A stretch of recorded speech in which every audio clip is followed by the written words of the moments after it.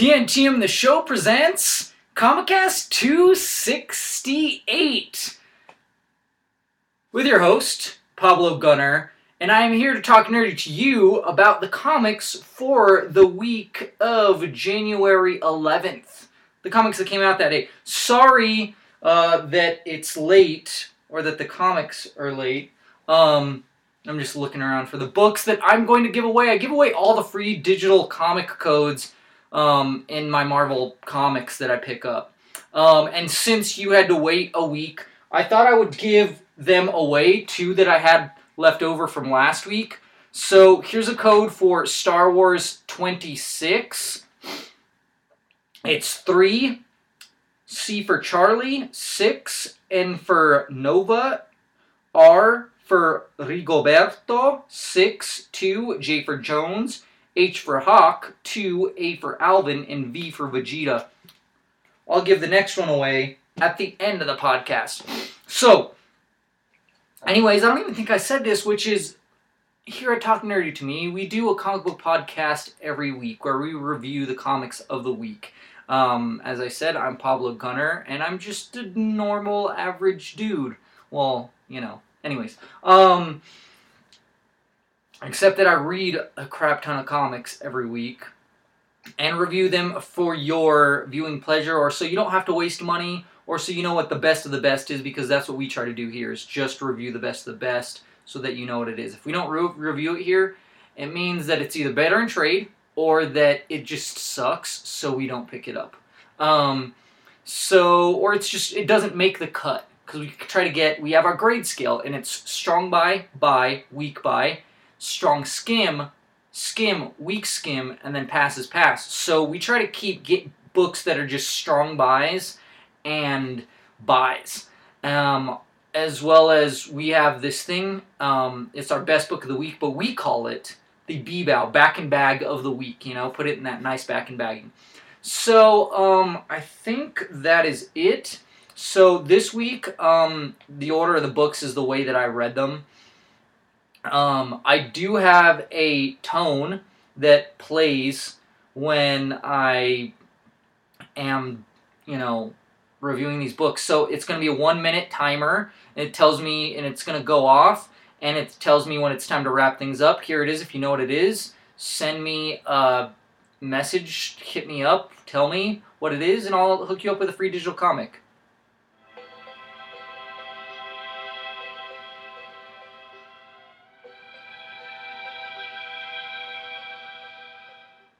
It's video game related. That's all the hint I'll give you. Without further ado, let's get into this, okay? Because there's a lot of books this week. Well, actually, it's probably less than, than normal. I think about like 14. All right, starting with Red Sonja, the zero got me, so I thought I'd pick up the number one. Uh, it's published by Dynamite, written by Amy Chu, illustrated by Carlos Gomez, uh, colored by Mohan.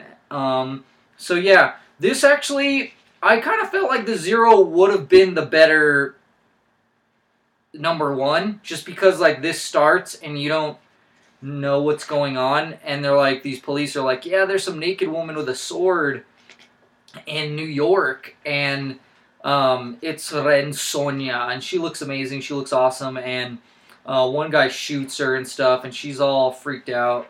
Um, but she's fighting, and it's weird because one of the dudes kind of understands her language, and it's because his grandma, you know, spoke a similar language. They take her to a mental hospital, and there's these guys that are wearing the symbol of her enemy. So she breaks loose, and it seems like there's something going on.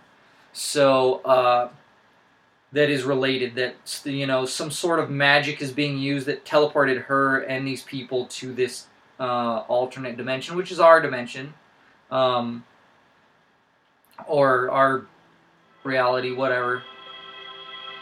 So uh, yeah, it, it got me interested. I'll I'll pick up a second issue as well as actually it got me really excited for because there's a part that has an interview with uh, Benjamin Percy for James Bond, so it got me pretty excited for a new James Bond story arc. I'm gonna have to check that out as well.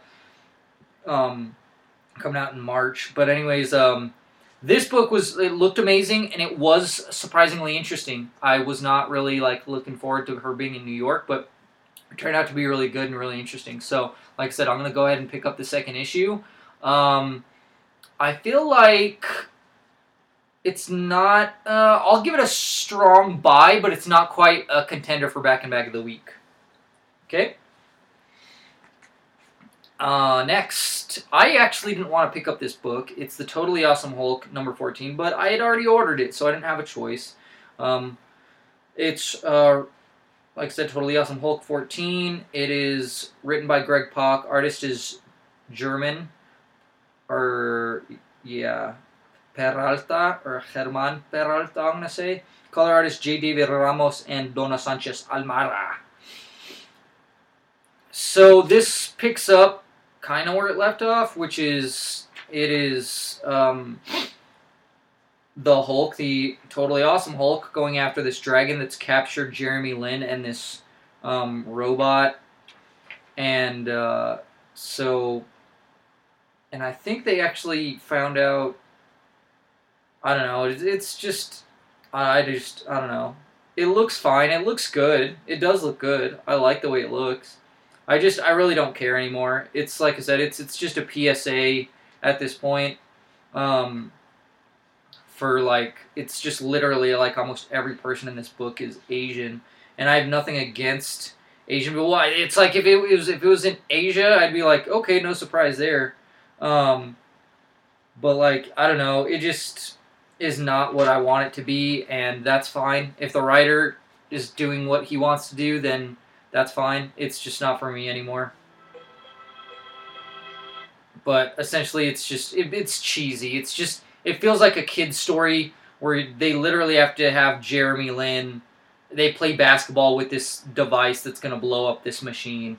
Um, it's it's I like I said I feel it feels like a kid's story, um, and it's not for me. So, uh, I I'm I would say that because it looks good and it's just not for me, but I feel like it's probably for other people, I'm going to give this a uh, weak buy and I'm going to be dropping it from here on out if I didn't order more. Um, anyways, there's a digital code if you want to check it out for yourself and tell me what you think. A for Africa, Q for Quill, F for Frank, 8, 0, B for Bravo, K for Kill, S for Saiyan, K for Kill, A for Africa, and for Nova, and you for Ultron.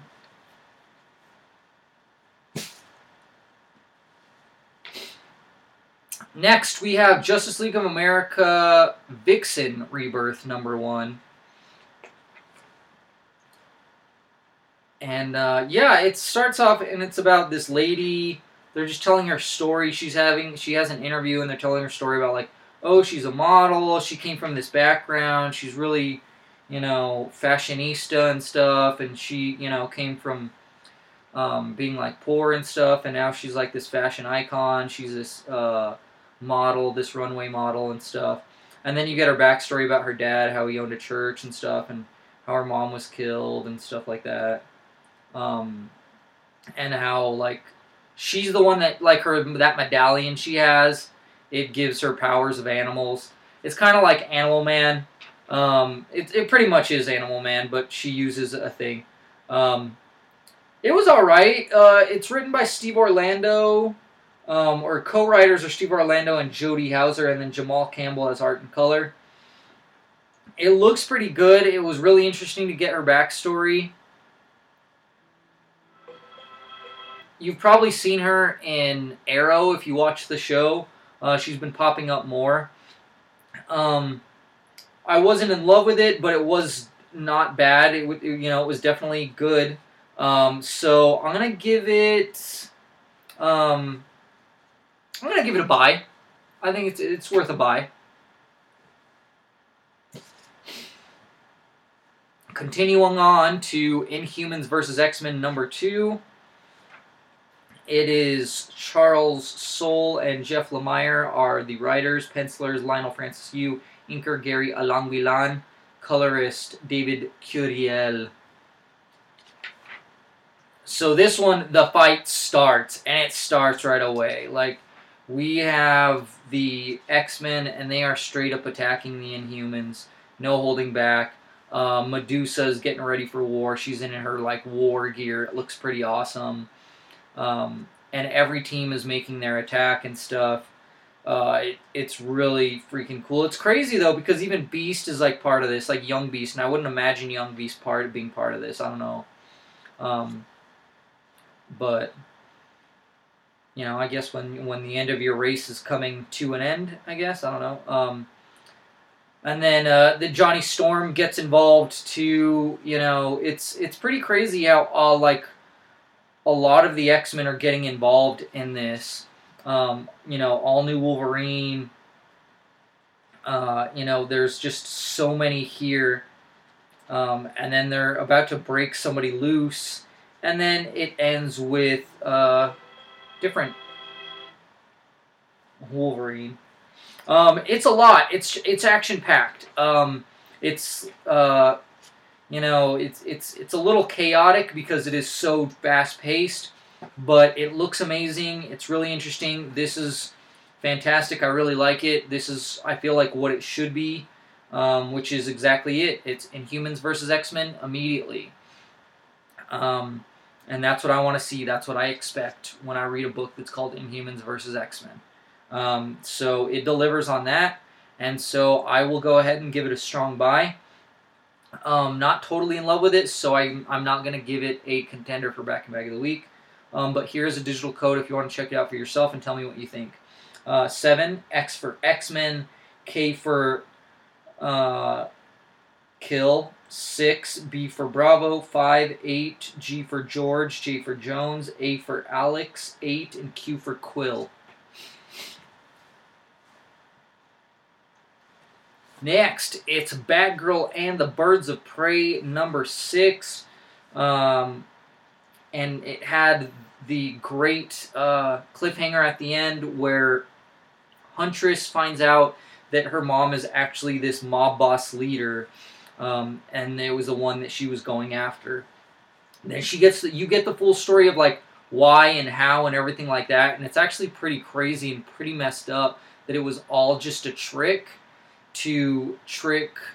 Um, I guess you know, she'd fall in love with one of the side guys, her mom did, and so she made a plan to like fake her and her husband's death um, so that they could disappear um, and go be together. And it went bad. It ended up being not fake. They ended up really killing him. And it and she thought that her mom was really dead, even though that was fake. So that was really messed up. Um, it's just really good, and as well as Oracle. But I'm wondering if this Oracle, there he, they haven't really vetted him out completely.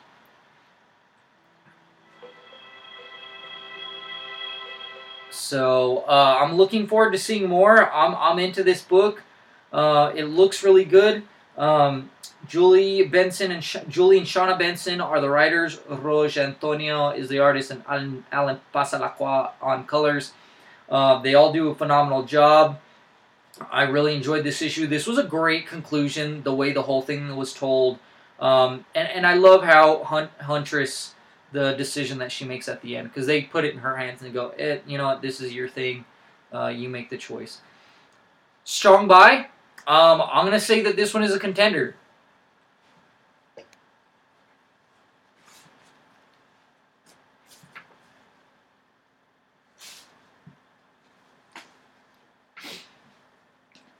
Next, it is Occupy Avengers number three.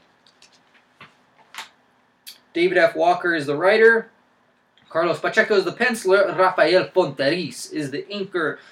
Sonia Oback with Will Quintana as colorist. And it starts, and Hawkeye is getting his butt beat by uh, Nighthawk. Um, but it doesn't even look like Nightwing because he's wearing like this weird shirt with a mask on it, and then he's wearing like a black beanie and a brown jacket, so it doesn't look like him. So it's a little confusing at first.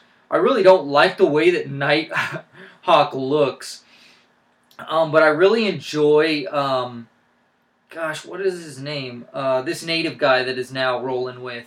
Um, that is rolling with Hawkeye, you know, to right the wrongs, you know. And it's not like crazy stuff. It's not like, but it does usually involve some heroics. And it's cool because Night Mask, she actually has he has a sidekick too. So well, not sidekick, but there's this chick that's there too, and they're just on the sidelines.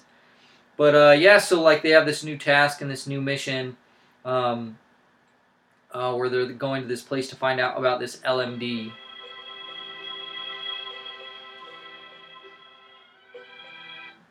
It's interesting. I like it. It looks really great.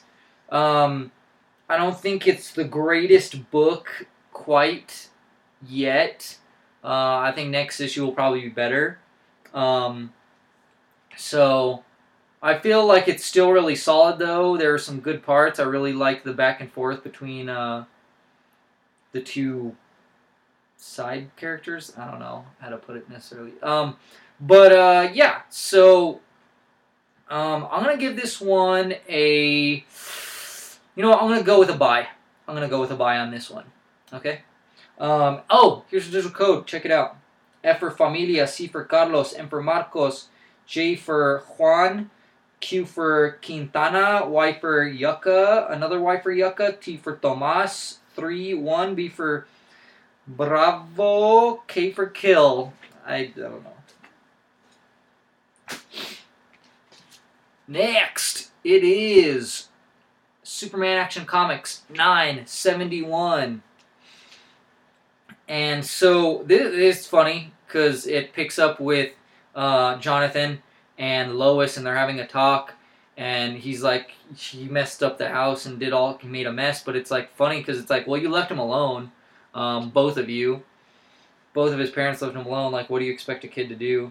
Um, and then it gets back to what's been going on with Lex Luthor and Superman on this planet, uh, which, um, yeah, so it's pretty great because it's like it seems like Superman is siding with these uh, people, and they're like, "Yeah, you're guilty," and then he's like, he does a switcheroo on them, and they make their escape. Uh, it's really well done. I really like it because they do a good job of uh, tricking you. But then they end up on this planet that is uh, in a solar system that has a red sun. So now Lex Luthor has to be the Superman in the situation because uh, Clark is becoming powerless. It's really interesting and really great. And then Jonathan is helping his mom to figure out this case of the missing building um, with Geneticron or whatever. Uh, it is written by Dan Jurgens, uh, pencils by Stephen Segovia, and then inker is Art Thibert. Color is Arif Prianto. Uh, I really like this one. This was really good. Um, I really enjoyed it and appreciated it. It was fantastic. Um, and it's it's getting pretty crazy even with the Lois Lane stuff. Um, like uh, yeah, so I'm I'm really interested in looking forward to, to reading more. I will give this one a strong buy and a contender. And you know what that means, folks? It's time for a commercial break because that's a halfway point. That's what we do here is we talk about one of our sponsors, uh, like you heard at the beginning. And I want to talk about Gamers Anonymous because I feel like I don't talk about Gamers Anonymous enough. Gamers Anonymous is so phenomenal. They they have uh, you know like it's a retro gaming store, but it's much more than that because they do so much for the community. Like I'm recording this on a Friday night, and they have a movie night, and they're showing Akira which I love. Uh, maybe I'll swing by because I really love that movie, even though I have a lot of editing to do with all the videos that we have sitting on the back burner or from, you know, still some stuff left over from Santa Fe Comic Con, as well as some stuff from, um, from uh, Tony Tone Bone. Uh, you know, from his Japanese trip, and then, uh, you know, of course, Albuquerque Comic Con. But anyways, um, yeah, they, they're so great because they, like I said, they don't just have retro gaming. Which, hey, you're into retro gaming, they got all your retro gaming needs. You know, like that's the thing is, I like to. I'm like I'm. I try to be. I'm trying to be a purist, and I want to play the old school systems on like an old school TV that's not HD. Um, so um, I I there is the only system that's available is the Retron 3 And the Retron 3, it doesn't play a lot of the Sega or Super Super Nintendo games, so they don't carry it anymore. Once they found out about that, they stopped carrying that. Which they do have the Retron. I think they do have the Retron 5. Um, and so, which you know, but that's HD, and I want to, like I said, purist. So I got all my old school systems from them. Well, not all of them, but I got Nintendo, I got Super Nintendo, and uh, Sega, which is my favorite. And actually, it was a Sega. It's the Mini, so I never had that one, and it's really neat. Um, but all the, it's and I got so many games from them. Build up my collection. Actually, the wife is the one that's that got all those systems from me for me. Um, I think it was my birthday. But anyways, yeah, and and you know the thing is too, like they hooked me up with a ten percent discount just because I was buying like three systems and a few games all at once, like just because. Uh, they're great like that. Uh, you know, I, that's why I love doing business with with them. As well as if I have any trade ins, I feel like I'm ripping them off because I get a lot of money from them. Like I traded in Last of Us once. Um, I know that was a horrible decision because it is easily one of the greatest games ever made. But it was so depressed with that game after I had it that I was like, I don't want to play it again. It makes me too depressed. Uh, you know. And then of course they had DLC come out, and I was like, damn it, I need that game back. But I think I made like almost I, I almost got my money back um, for it. I think I got like fifty or fifty five bucks from it. You're not gonna get that from any place else when you trade in uh, a new game. So you know like that it, it's top notch and like i said they ha- they they have a lot of new stuff too like they have if you you can order brand new games from them if you want to and they have brand new they have xbox one games they have ps4 games you know i'm sure they're gonna have the switch and stuff like that um, you know which i'm totally jacked off for i would i would love to chat about the switch with uh, you know the owner john sakura like i said they do plenty of other stuff though too they, they you know they do. They have Pokemon. They have. Uh, it's just ridiculous how many things. So make sure you follow them on Facebook. Join their community group on Facebook. Check out their website. Uh, it's garetro.com, and look them up. I mean, they are located here in New Mexico, and they have two shops. There's the East Side and the West Side store. Um, I want to say the East Side is Wyoming and Pennsylvania. That's probably not right. Um, but anyways, uh, but yeah, it, it's next to the Domino's, wonderful place. And then the West Side store is off of Alameda and Corrales Road. Um, just wonderful, wonderful place. Great employees, really helpful, really nice. You know, they give you hookup just because, and if you join part of their their rewards program, they'll send you like a 10, 15, 20% discount every once in a while, at least once a month usually. So uh, definitely, you know, make sure you check them out. Back to some comics, folks with The Flash, number 14. Uh, and so this is like retelling like the rogues and stuff. Like it's Flash and he's like, yeah, the rogues, you know, about the past, like, you know, what's happened recently with them helping against Grodd and helping with, you know, the when they had the whole villains thing going on and then he's looking for him, you know, just to see what's going on with them. Uh, and so he's researching, finding out the about their victims and stuff, and trying to find out one of their hideouts. And it turns out they're actually baiting him because um, they set him up to look for a heist in another country, and he's there to. Um, and they're, you know, like I said, they're back. They're back in town. Captain Cold and the Rogues are back in town so it is. Uh, I'm totally jacked off for it. I've been missing them, but they are back to basics. I, I mean, some of them they still have. Captain Cold, he doesn't have powers anymore. He just has the cold gun. He's back to that, but I think the rest of the crew they have legit powers. I think. Um, so yeah, it's written by Joshua Williamson. Uh, Carmen Di Giandomenico is back as the artist. Ivan Plascencia is color artist. It looks phenomenal. It's really interesting. It's really good. I thought it was uh, slow, and I was like, oh man, this is going to take forever. This is going to be like a multiple issue thing that's going to build up to it. But it doesn't. And I loved that they did that all in one issue, which has brought back the Rogues and the way that they went about it. So I give this one a strong buy and a contender. Uh, now it's Power Man and Iron Fist number 12 with David F. Walker as the writer, Sanford Greene as the artist, Lee Loughridge as color artist. And man, this is crazy. There's just this huge gang war going down in Harlem um, between Alex Wilder's crew, Black Cat's crew, Tombstone's crew. And Tombstone is, he's like talking to Power Man and Iron Fist, and they're like, hey, if you don't do something about this, something's going to go really bad. But it turned out that it was just like a setup.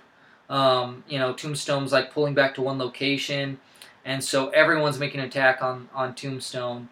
Um, and it turns out that Tombstone's actually just setting everybody up to take all of his enemies out at once. Um, which uh, he does does take a lot of people out. There are some casualties, but it doesn't. Um,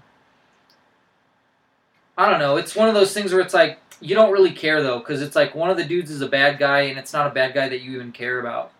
Um, but there are casualties, and these guys like they're like, oh, he set us up, and you see some other people are joining up with Luke Cage and Iron Fist, uh, which is Senor Magico, and uh, some and a couple other guys. Uh, so I'm looking forward to that. This team up, it's gonna be cool. Um, so yeah, it looks amazing. It's really interesting. I, I enjoyed this one a lot. It was top notch. I didn't see that coming, and it was really good. It was really well done. It was fantastic. So, um, I give it a strong buy, and I give it a contender. Here's a digital code if you want to check it out. Uh, F for Familia, C for Carlos, M for Marcos, 0, 5, Z for Zorro, 1, C for Carlos, K for Kill, 4, X for X-Men, and then Z for Zorro. Let's keep it going with some All-Star Batman number 6. This is 4.99. Um, so this is, it's, I have to say, like, you don't even, uh, it's Jock is the artist. Scott Snyder is the writer. And there's no dialogue. There's, well, there is not really dialogue. It kind of seems like prose, um, where it's just like telling stories about, Cap, not Captain Cold, uh, Mr. Freeze, as well as Batman, you know, and stuff, and it's really interesting how it relates. But it's all this stuff that's going to Matt Hollingsworth's colors.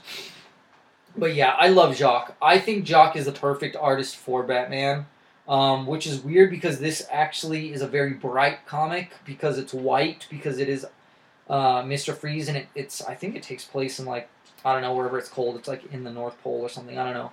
But he finds this thing that's gonna it's like a cold virus that's gonna turn everybody you know, in into their, his army.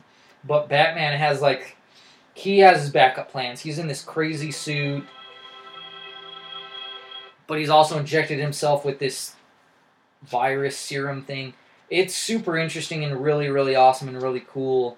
Um, I like, like I said, it. I think it's brilliant. It's different. I don't think this is going to be for everybody, but it's absolutely for me because uh, I love Jock and I love Snyder and I love the way they do this. It doesn't seem like it's over because there's still the next thing. Um, but there is a little tidbit at the end too that it's the Cursed Wheel Part Five um, with uh, Francesco Francavilla as the art, uh, which is really interesting because it relates to the Riddler. Um, overall, it's all really interesting. The ending was a little confusing. Um, but I think it's meant to be because it's a Riddler. But yeah, I love it. I love it. Like I said, combination of Jock and and Snyder is a killer combo for me. And then the second part was nice too. It was short, but it was interesting. So this one's a strong buy and a contender. On to a controversial controversial cover. Uh, it's Spider-Man number twelve with Brian Michael Bendis as the writer, Sarah Pichelli back as artist, inking assist is Gaetano Carlucci, Justin Ponsor as color artist. And so, yeah, it starts with the kissing of Miles and Gwen, of Spider Gwen. Um, and he's telling the story. It's like he's telling the story to his roommates, Fabio Moon Gold Balls. I think it's Moon. I don't know. Um, and then uh, and Ganke, and then tells a story like he's like, oh, he ends he ended with that, but he, he's like, oh, but let me get to the beginning. So he kind of Tarantino's it, you know, it's oh, I got to tell you, and so it's about like him finding out about his dad. He's looking for his dad, and then Maria Hill's like, oh yeah, by the way, he might be from all in a different dimension because we can't find him because we're the best at finding people. So he ends up going to Spider Gwen's dimension, and in doing so, he goes up, he gets caught up in her universe's BS. Uh, you know, with this lady called Ringer, um, and then Spider Gwen shows up. So that's it. Um, it's interesting. I'm looking forward to Spider Gwen even more so because of this. And I thought this was really great. It looks wonderful. It looks amazing, fantastic, gorgeous. Um, it's just absolutely, you know, I just love it. I love Miles. Um, he's quickly getting to the top of my favorite uh, Spider-Man list. Um, I don't know though, because Spider Gwen is probably my favorite. She's not a Spider-Man, but you know. Anyways, uh, yeah. So this one's a strong buying contender, and here's a digital code F for Fan, Z for Zarbon, M for Mankey, K for Kill, A for Alvin, L for Logan, T for Tomas, B for Bravo, F for Frank, Z for Zarbon, H for Hotel, M for Mankey.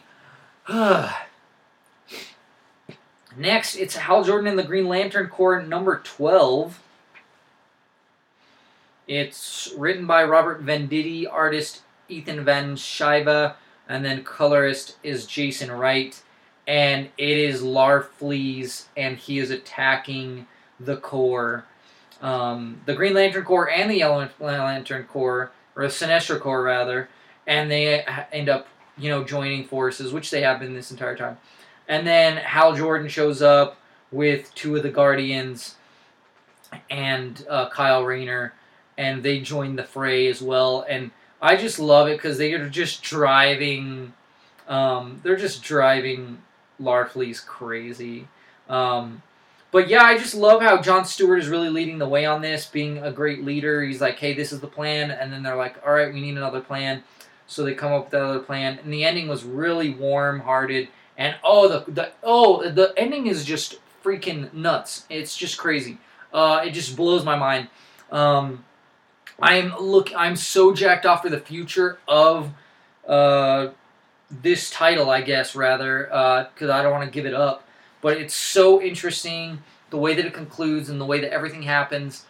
It's a strong buy and easily a contender. Continues to be one of the best books that DC is putting out and one of the best books, period. Moving on, it's Silk number 16, a clone conspiracy tie in um, with Robbie Thompson as the writer, Irene Strychalski as the artist, uh, Ian Herring and Irma Kniivila as colorist. So I'm really not, like, I'm just not invested in this story arc just because I don't care about the clone conspiracy stuff. Um, and I don't know, there's something about this Jameson, he just looks weird. And he doesn't look like Jameson to me that much, kind of, but not really.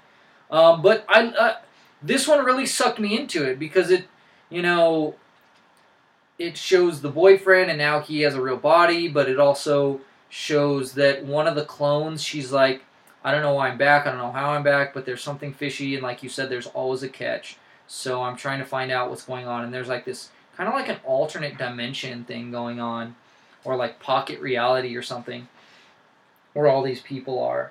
Uh, it's really interesting. Um, it ends really well. I really enjoyed it. I I'm really liking digging this art style. It really is fitting. It goes well with the other art artists too. Just the tone and you know the feel and everything of it. Um, Silk is amazing. She's such an interesting character, and I really like how different she is. Um, so yeah, I, I give this one a strong buying contender as well. And here's your digital code so you can check it out. F for Familia, C for Carlos, M for Marcos, 5, F for my Familia, C for Carlos, L for Lupita, P for Palito, C for Carlos, B for Bonia, H for Hector, and 7. I just can't, I don't know. Next, it is Batman Detective Comics 948. And this one, I don't know, this one kind of felt like a rehash of stuff that's already been told, which is some origin stuff of Batwoman. Um, it is uh, James Tynion and Marguerite Bennett as the writers. Ben Oliver is the artist. Yeah, the the art is killer. It's just mind blowingly great, and it's perfect. I love the way. I just love this artist. So it is like I said, it's um, Kate when she was still with her dad, like before when she was like I she was just following him, trying to find out about him, and then uh, they end up doing some research into like this monster corpse, and these there's these seagulls that are transforming into people, and then there's this lady that's kind of I think she has like a bad past, um, and she's just like working with, um, oh gosh, I can't remember the name of it, but not Star Labs. Uh, gosh, what is it? But anyways, they give him this mission. They're like, hey, these people are involved, and so yeah, it's the the old crew of um, of her dad, of Kate Kane's dad, and so um, this dude is sent to go after them and stuff and retrieve this thing so that they can create more monsters. It's pretty terrifying. It's really interesting. I love it. It looks gorgeous. It truly, truly is just like the best looking art uh, this week and maybe for the whole month. I'm not sure because it is just stunning and the colors just mind blowing. All of it, all the visuals just mind blowingly great. So obviously this one is a strong buying contender. I love how there's fallout too from the monster stuff. Last book, Miss Marvel number 14. It is G. Willow Wilson as a writer, Takeshi Miyazawa as artist, Ian Herring as color artist. And so this one's pretty interesting because it actually starts off like a World of Warcraft uh, gameplay going on with her and her friends around the world. Or, yeah, I'm gonna, I don't know if it's around the world or around the country. Um, and one of the guys says something creepy to her, like, "Oh yeah, something about like where you live." He says like her specific address, and so he's like, "All right, this is creepy." So she finds out where this guy lives. She visits him, and he's like, "What are you talking about? I wasn't even playing. Someone hijacked my uh, stuff. Like someone hacked me and was using it." So she's trying to find out who it actually was, um, and so she gets to the bottom of it a little bit there towards the end, but like it's really creepy because someone's just following her, and it's the character um, in that game that said something creepy to her. Uh, I'm really interested to find out because this is kind of like reminds me of like cyber stalking or just like um, cyber bullying too, and uh, I think it's relative. So really interesting. It's different from anything that's been going on, but that's what I love about this book is that it's not the norm, and it looks perfect. Everything about it is just wonderful. Great to have Takeshi Miyazawa back. Um, it's just I love this book. So it's a strong buy and a contender. Here's your digital code. F for Familia, C for Carlos, M for Marcos, W for Wesker, 707, N for Nova, R for Richter, F for Familia, Z, or U for Ultron, and P for Pietro. Alright, well that's it for the books for the week, but it is time to announce my back and bag of the week. And runner-up. Um, so, yeah, uh, Miss Marvel's so great. Um, Batman, just gorgeous, gorgeous, gorgeous book. It's ridiculous how gorgeous it is. Um, it is just pure greatness. Um, so yeah, you know what? I am gonna have to go with um, Batman Detective Comics as my runner-up. It is just absolutely stunning and gorgeous, and it's really interesting. Like I said, I love the fact that there's fallout from the Monster Men. I want to say uh, story arc, and then it, uh, it just it's it's the visuals that get me. But for me, a lot of times it's not about visuals. And not that it matters because the visuals in Hal Jordan and the Green Lantern Corps are effing amazing. Um, they, they're really consistent with this book, with this title, and the way that it's looked. But the best part is just the ending. um, because there is Tomar two, I want to say, and his mom's like, I don't still don't agree with you, and he's like, but I'm doing all this good and stuff, and she's like, yeah, but your dad died. And then Hal Jordan's like, oh, by the way, your dad's really proud of you. I met him in the Emerald Space, you know, where all the dead lanterns go.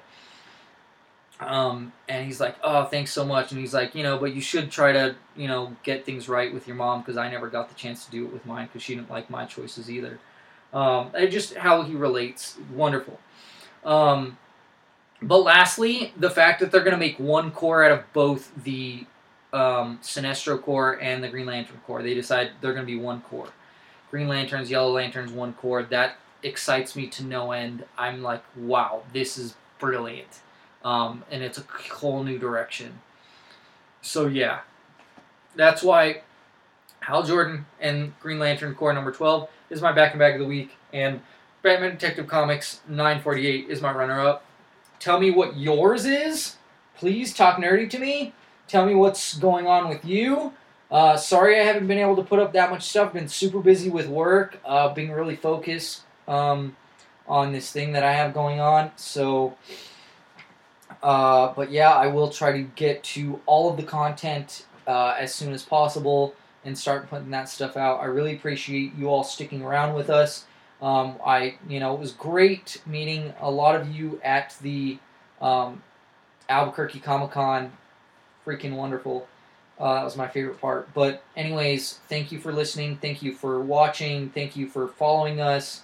You know, um, whether it be Facebook, Twitter, Instagram, Tumblr, you know, the Facebook community group, the Facebook page, as well as our website, you know, and, and wherever else you can find us. So remember that stuff is all at TNTM the show. That's all of it. You can also send us emails if you want to.